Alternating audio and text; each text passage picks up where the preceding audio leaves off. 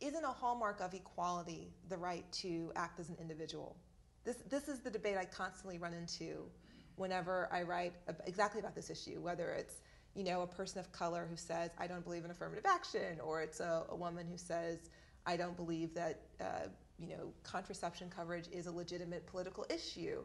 Um, and the argument I often hear is, well, just like Irish Americans or Italian Americans came to this country, they were a block, and then they reached a measure of equality, or as some books say, they became white, right? That's the and then they split their, their voting block because that's what you that's the whole purpose is you become a full American when you have the right to say I'm voting as an individual, not as a block. How do you respond to that? Uh, you may be an individual, but there are collective consequences. Mm. Uh, and, uh, uh and that's and, and that's sort of that's always the issue with when, when I hear you know people certainly you should have your autonomy and independence but because of the particular history in this country, that there are collective uh, consequences for it. And so I think you have to always think about uh, that. And we have to learn how to look at them in an intersectional, us in an inter individuals even in an intersectional way. So when you lose that intersectional, intersectional kind of framework, that's when you make mistakes. Uh, there was also Hillary more recently when speaking uh, said something to the effect of uh, the great issue of, of, equality, the great issue of the century was women's equality. And I'm going, I'm, yes, that is one great issue, right. but couldn't you have just added race, you know, culture? Couldn't you have just added some of these other things uh, to it? And it would have made me more comfortable because I always have to think about how much the civil rights movement did for all women. You see, the civil rights movement didn't have black people written on it. It, it helped all people. Uh, it's still helping all people to achieve rights. And we just like to be acknowledged sometimes for doing that. Uh, it, it, the civil rights movement is not over. So we still have a chance for women to remember that. Keep in mind that you're talking about my ancestors or you're leaving my ancestors out when you just say women's equality is the great issue of the century. I agree it is great, but there's something else that's there for me, and it has to be, as Dr. Giddings has just said, my blackness also is very important. If we could put the two of those together, we could overcome some of those crazy things we're hearing.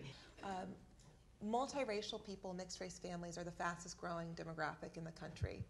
And my question is how do you think that is going to shape or possibly redefine uh, civil rights as we think of them and discuss them here in this country? Or will it? You know, many of us are, are children of multiracial.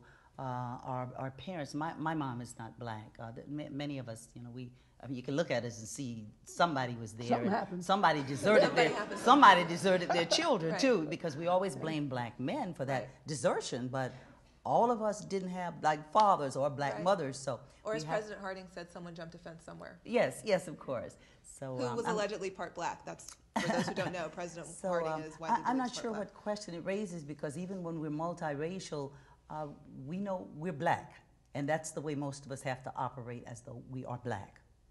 Well, the well the reason I, I let me rephrase it. The reason I'm asking is because that's changing generationally.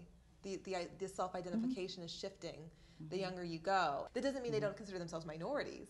Yes. It just means that there is more complexity to it. And so it is the big issue for them. I mean, because we have people of all kinds of cultures in our families, and I know most people do. We can't hate people uh, just because of the, the color of their skin. We have to understand that there is another relationship there, and now it's called family. Family. Yes. Right. Mm-hmm. Um, uh, we have to start rethinking what we mean by black community.